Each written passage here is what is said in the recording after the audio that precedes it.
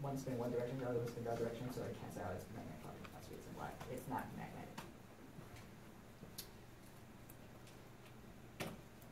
Uh, types of magnets. These are the three most common. There's what we call permanent magnets. Now, permanent magnets are usually found in nature.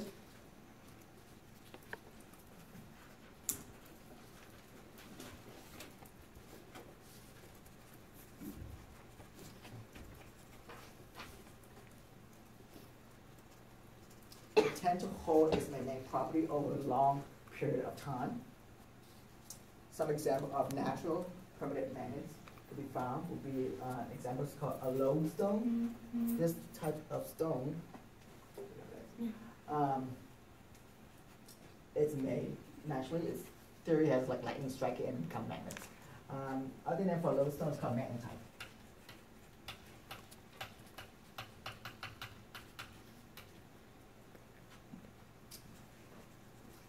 Permanent natural magnets are uh, relatively weak, but they do last a very, very long time. Other type of magnets called temporary magnets. These are material that become magnets, but it loses its magnetic property very quickly.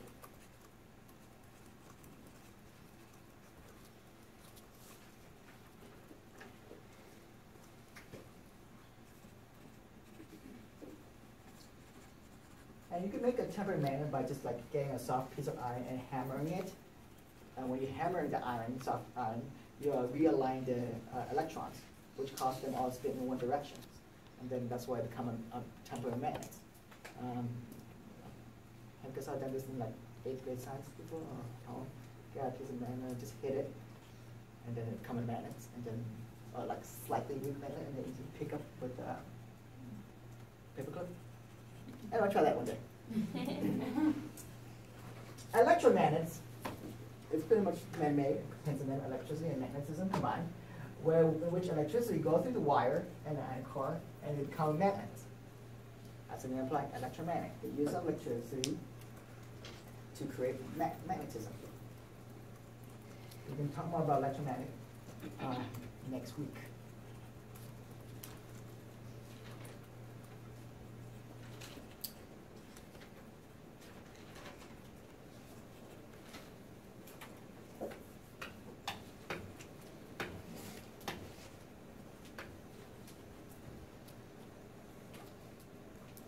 Magnetic laws. A lot of the magnetic laws is very similar to that of the electrostatic laws. Um, except for one. Uh, one of the magnetic laws that every magnet has two poles. It's called bipolar, so it's either north pole or south pole. And again, these names are arbitrary. Someone decided to call north and south. I don't know Or plus or minus, depending on how you feel like it. Uh, the interesting thing about the magnetic pole is that you cannot separate these two poles. They're always going to exist, uh, either north and south. If you break the magnet into two halves, the half that's been broken will either become a positive, I mean, it will be a, a, north pole or south pole, depending on uh, where how you break the uh, magnet. So the pole will always exist together. You cannot separate those poles. You break the magnet into two halves, the other part would be coming south or north, depending what what the other pole is going to be. Kind of separate them.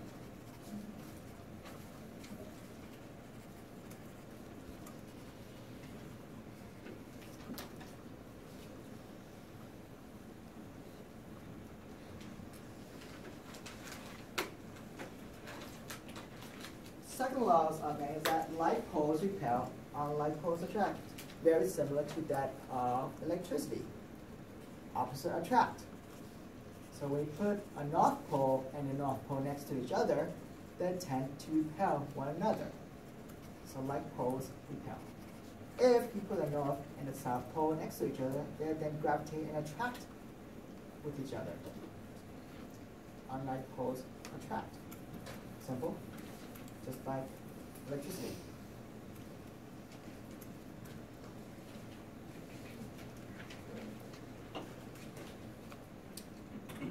And then the last part, which is very similar to Coulomb's law, is the same. the electric force, I mean magnetic force between poles is directly proportional to the product of the pole strength and inverse, inversely square of the distance between them. Exactly the same. The only difference is that uh, instead of Coulomb's law, constant equation, they use um, Gauss, uh, some Gauss law equation, which you guys already know.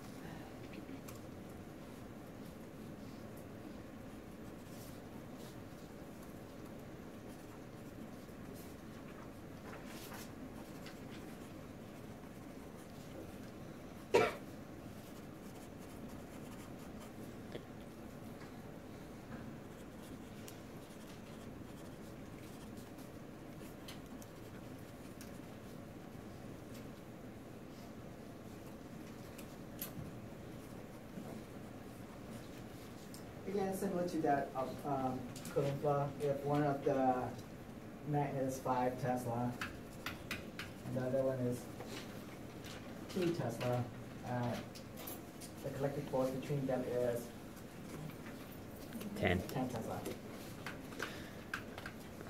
Similar to that law. If you double one of them, then this will double. If, you, if one of them is double and the other one's double, and then this will be Four times.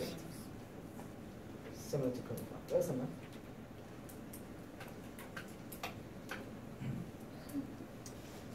Still one example.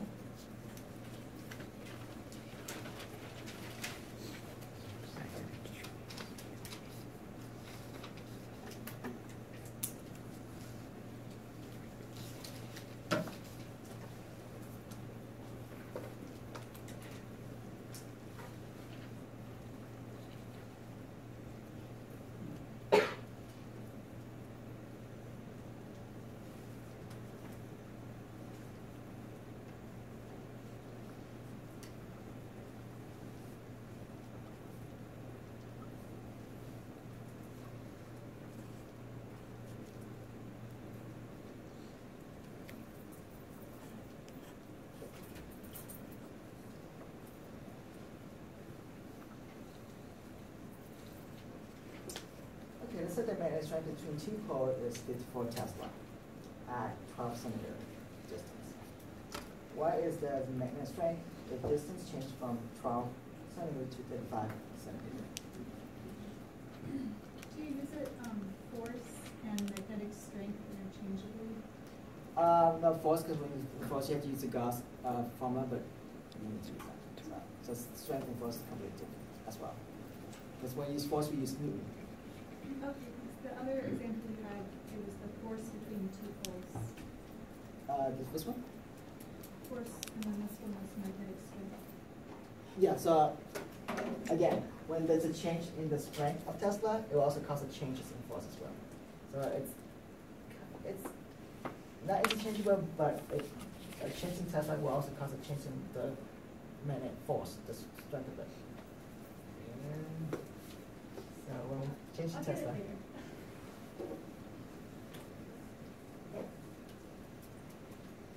So this is changing this. So what do we use? Inverse square law. Inverse square law. One over two, one, one square.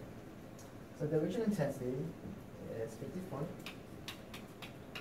at a distance of 12. twelve centimeters square. What is the new intensity of strength? Distance changed to thirty-five centimeters square. We wouldn't have to change this to meters because they're No, because the both of same. them are same. So now, I mean, since we are just looking for change in distance, just have to make sure that the units are the same.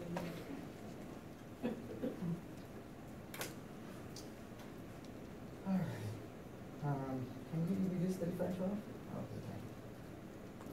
So thirty-five times thirty-five give me x cross multiply. Twelve squared is one forty-four, one forty-four times fifty-four. Seven, seven, seven, six. Divide both sides by twelve twenty-five.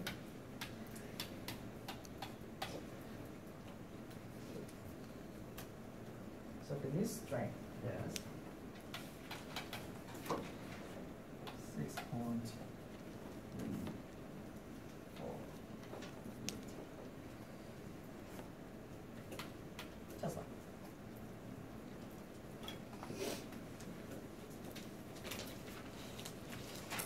Very simple when it comes to law.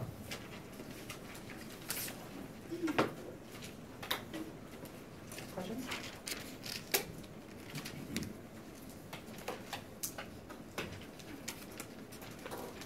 An example. Here, the magnet strength is 50 Tesla at 3.54 centimeter. What is the magnet strength at 3 inches?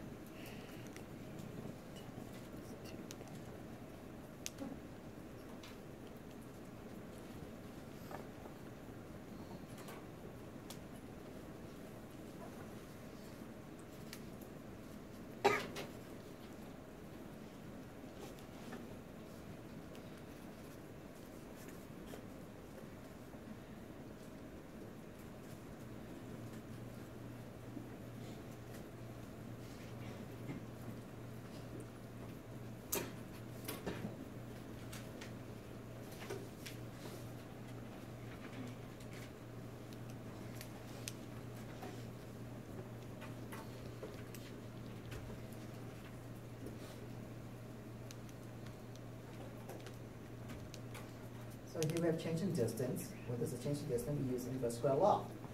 Um, however, what's the first step we have to do? Converting. We have to convert the the unit of distance, right? Because one is in metric and one is in standard. And the metric number for one inch is equal to 2.54. 2.54, so two point five four is one inch. Or you can convert this into centimeter, it's up to you. So now we have the same unit of distance. Uh, original intensity is fifty Tesla and distance of one inch square. Whereas the new intensity, we just change to increase to three inches. 1 squared is just 1, so it would be three, um, 3 squared is 9, so it's 9x. 1 squared is 1, 1 times 50 is 50. Divide both sides by 9.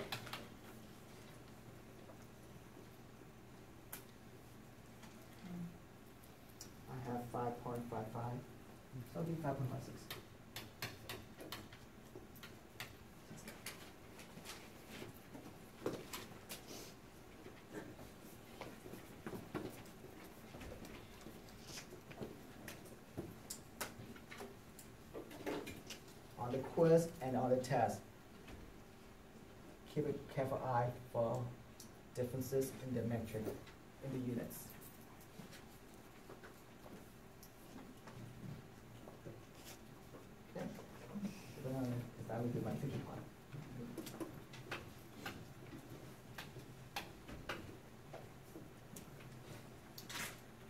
All right, just cover terminologies, and then uh, we will be done for the day.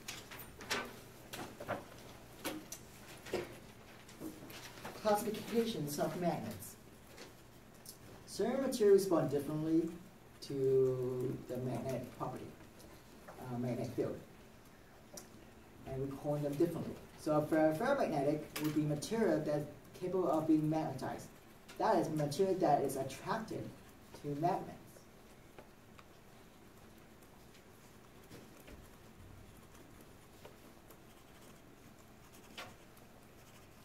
Example of ferromagnetic material would be such as iron, uh, nickel, gadolinium, whatever it is. So pretty much metals product, uh, in the metal family.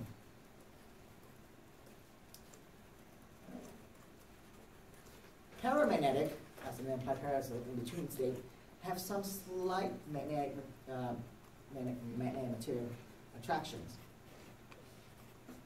but not completely attracted to them. You can see it more at the subatomic level. When you see the magnets causes a changes in the electrons spinning around. Example of paramagnetic property would be such as copper, aluminum, even though you don't really see them attracting them when you place next to them. But at the subatomic level, because they change in the electrons.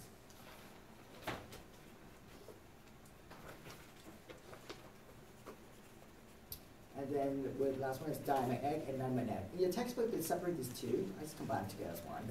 It's a uh, diamond and non-magnetic are just material that's not cannot be magnetized or have no influence uh, by the magnetic property. Robert Wood, the example of diamagnetic material.